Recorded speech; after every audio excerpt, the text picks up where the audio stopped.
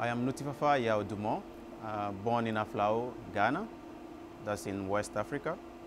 I'm in my final year, uh, PhD um, employee uh, here at the Zernike Institute for Advanced Materials. I work in generally uh, in the field of organic electronics uh, with more focus on organic light emitting diodes and organic solar cells. But the past four years I've been working on how to understand the stability and lifetime of organic solar cells. And yeah, that's basically what I do. For every technology to be on the market, it must be efficient and also have uh, a long lifetime.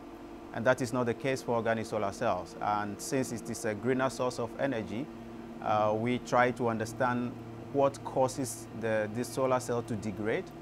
And we think that that paves a way for scientists to develop new material that can be as efficient and as stable for the technology to move forward.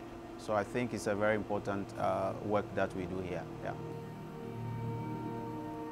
Our material can already be on the market. So you have these plastic solar cells. So these are very flexible. So already they are made, but not yet on the market because of the stability issues that I spoke about. So I think for us to be able to make this available to society because this is going to change the way we use energy day-to-day -day usage of energy, charging of your mobile devices, for example, can be done with this. And so I think uh, if you are able to solve the problem of stability, then society can benefit from our research every single day. Charging your mobile phone, you don't need to really have power sources.